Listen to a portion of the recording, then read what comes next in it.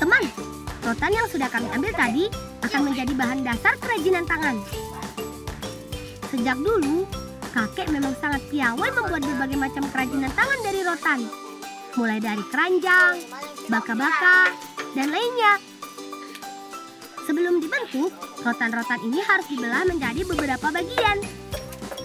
Nah, bagian rotan yang sudah tipis ini kemudian dibentuk sesuai pola jenis kerajinan yang akan dibuat. Kali ini, kakek akan membuat keranjang rotan. Kalau kamu real, bikin apa? Kata guruku, Indonesia merupakan penghasil rotan terbesar di dunia.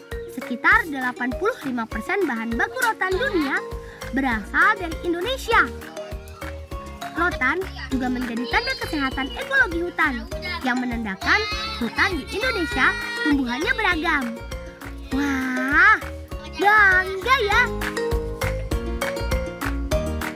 Teman, keranjang rotan yang dibuat kakek sudah mau selesai. Gitar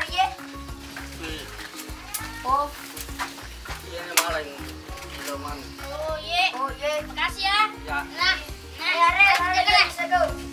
Keranjang yang dibuat oleh kakek akan kami gunakan sebagai wadah memetik buah di pekarangan rumah pamanku teman.